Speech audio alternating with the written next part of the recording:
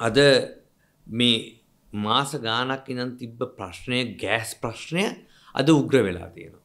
ඊයේ දිනේදී මමත් අපේ ගෙදරට ගෑස් ගේන්න දවස පුරාම හෙව්වා අද ගෑස් නැති වෙලා තියෙනවා. එතකොට දැන් මේ ගෑස් වලින් අපේ මේ වෙනකොට සිය දහස් ගණනක් ගෑස්ලිප් පුරන්න පටන් අරගෙන තියෙනවා. ගොඩක් අයට යම් යම් හානි වෙලා ජීවිත හානියක් බව පවා ඇති වෙලා තියෙනවා. මේ තවත් කොච්චර කාලයකට මේක වෙයිද? එතකොට දැන් අමාත්‍යවරයා කියනවා මේ මේක සතියෙන් විසඳනවා සති දෙකකින් විසඳනවා හැකි ඉක්මනට විසඳනවා එහෙම තමයි මුලින්ම කිව්වේ මුලින්ම කිව්වේ හැම දෙයක්ම සතියෙන් විසඳනවා කියලා දැන් කියන්නේ සතිය කතාව අමතක කරලා හැකි ඉක්මනින් විසඳනවා කියලා. ඒකින්ද මේක අද මෙච්චර කාලයක් යනවද මෙච්චර වෙලාවක් යනවද මේ වගේ ප්‍රශ්නයක් විසඳගන්න.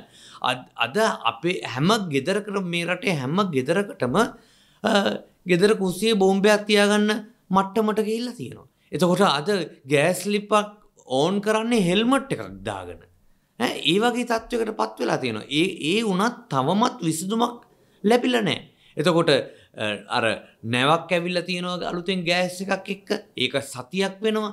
ඒ ඒ නැවේ යම් ගැටලුවක් තියෙනවද ප්‍රශ්නයක් තියෙනවද ඒකට මේ පරීක්ෂණයක් කරන්න මෙච්චර කාලයක් යනවද.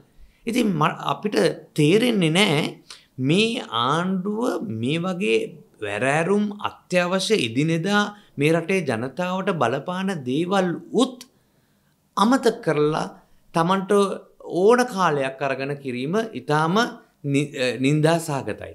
අපි බල කරන සමග ජන බලවේගේ හැටිට අපේ නායකතුමා එතන්දි පැදිලිවම කිව්වා අපි නීති සහය යට ලබා දෙනවා.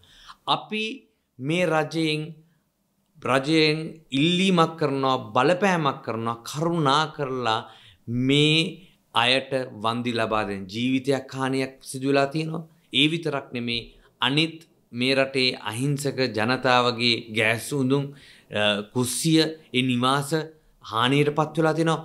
වහාම මේ තාම ඒ ගැන හිතලවත් නැහැ. තාම ඒ ගැන කතා කරලවත් නැහැ.